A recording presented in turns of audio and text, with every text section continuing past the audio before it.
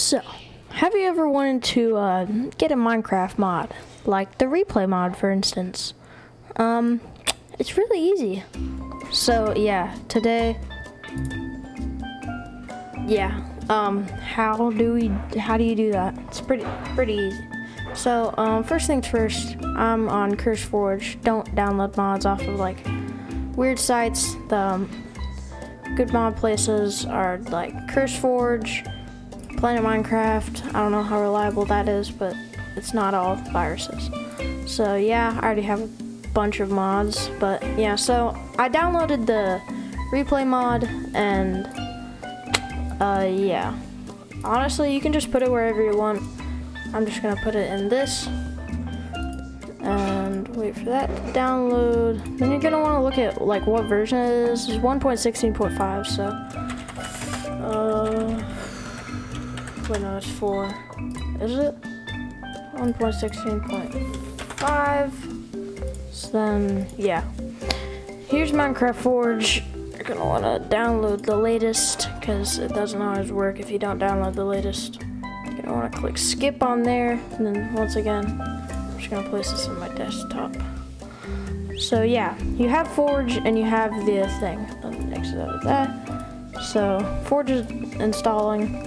So then you're going to want to go into the Minecraft launcher uh, and first go to installations, click on new installation, and then you're going to want to uh, you're going to want to find the version that the mod is in, so 1.16.5. I can do whatever, I can make it Podzol, I can name it Podzol.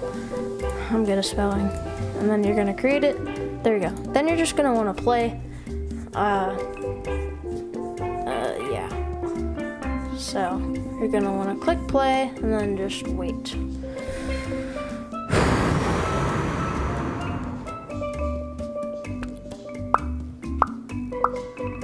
So, yeah, um, and you're done. You can click quit game, and here are your two things, the replay mod and the forge.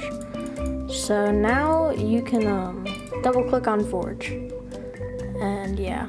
Then you're gonna wanna click install client, okay.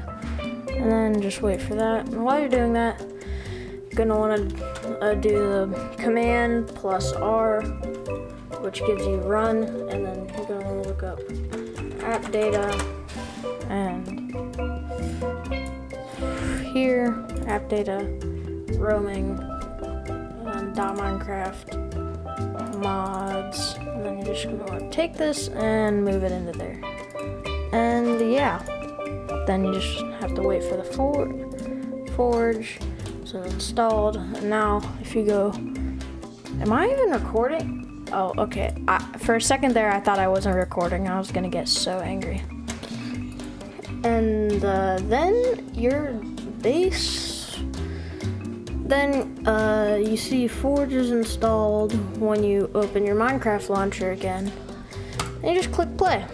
It's that simple, and the mod should automatically go in. It's actually really easy. It's crazy.